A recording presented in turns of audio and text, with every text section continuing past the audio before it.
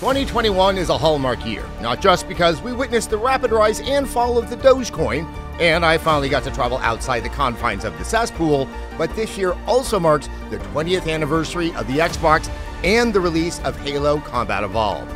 With such a monumental year, Xbox had definitely planned to kick it off with the holiday 2020 release of its next gen console and next gen sequel. Achievement partially unlocked.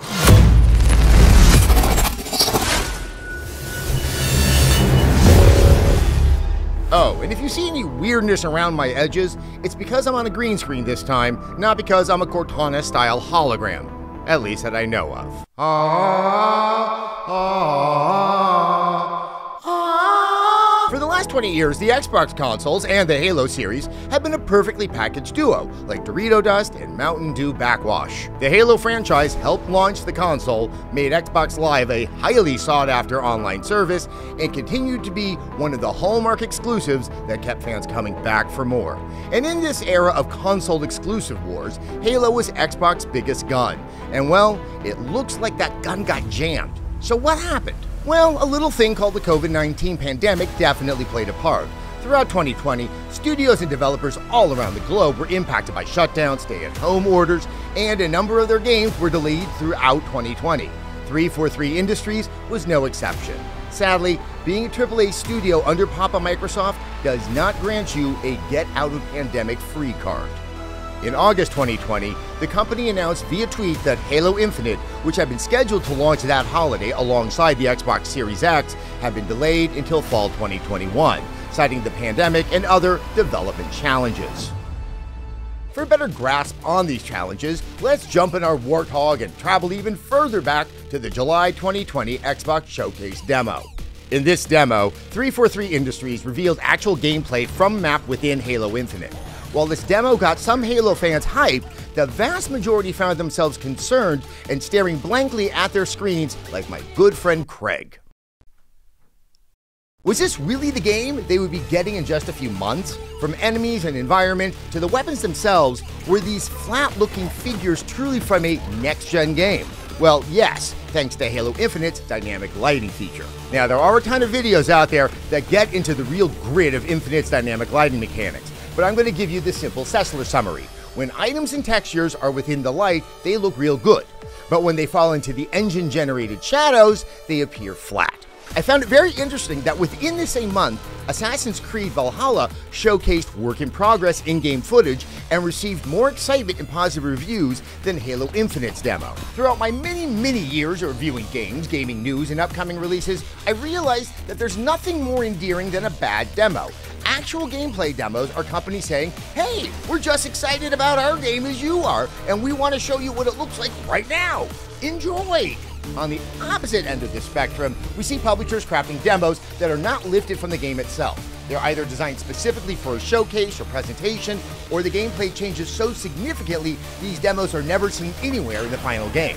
Think of it like your parents talking about the car they bought you and showing you a photo of a Ford Mustang, only for you to arrive at the dealership and you see that it's a Ford Fiesta instead. It's still a Ford, but really, a Fiesta? Take, for instance, one of my favorite 2013 titles, Bioshock Infinite.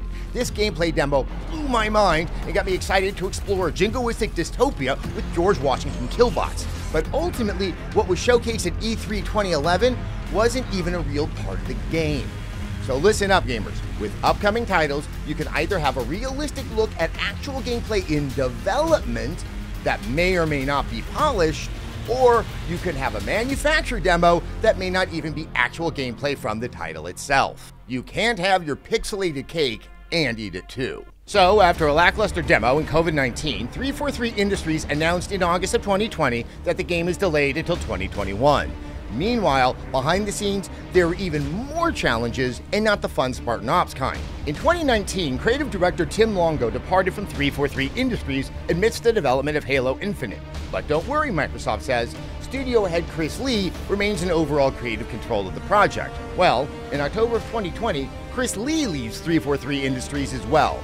So now we've got a game experiencing delays due to COVID 19, a widely panned demo, and a departure of creative leadership talk about the Halo development triple kill. Making video games is tough. Making a AAA game is even tougher. It takes a lot of blood, sweat, and tear soaked keyboards from a wide range of departments to deliver a great game. Changes in leadership and game design can add weeks or months onto development deadlines. So, with all of this information, it makes sense for Halo Infinite's continued delay and lack of a release date. Even as we speak, Halo's release still floats in the holiday 2021 ambiguous abyss, along with my love of eggnog. But on the bright side, it seems like things are looking up for 343 Industries. In December 2020, the company published a development update that included the announcement that Halo veteran Joseph Staten had been brought onto the project. Great! Likewise, the team was hard at work making changes to the lighting and art style after taking into consideration the feedback.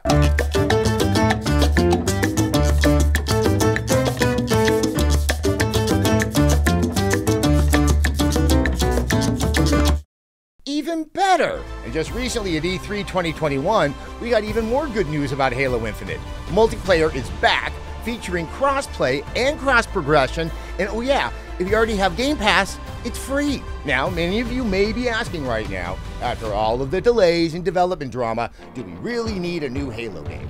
Is this franchise really worth preserving after 20 years as we venture into the next generation of consoles? There's no doubt that Halo Combat Evolved's revolutionary and creative FPS gameplay was the hallmark of the Xbox and helped launch a thousand similar shooters. But just because you are a series that has defined a genre, that does not automatically make every sequel you deliver safe from criticism and critique. Since taking over the series from Bungie, 343 Industries delivered us the great Halo 4 and the, okay, I guess I'll play it Halo 5. So it makes sense that they've got a lot riding on Infinite to revitalize the series, not just for new players, but for their own reputation. You're probably wondering, okay, Sessler, time to give us your hot off the grill, spicy Halo take on how the series should retire. And you know what? I'm not. Look, I am genuinely happy that we have a new Halo on the horizon. The Halo series never hurt me.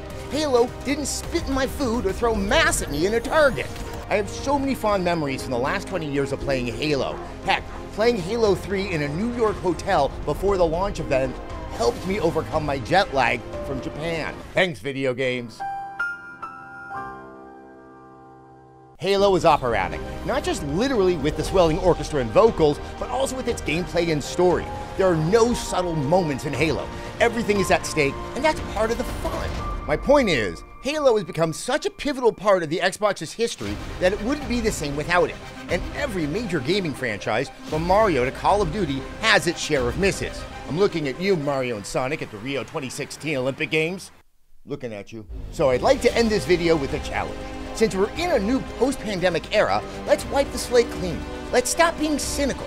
Let's be more forgiving to developers regarding demos and delays. And let's all keep our hopes up that Halo Infinite is the next great installment in a treasured franchise. We'll save the cynicism and brutality for the actual review.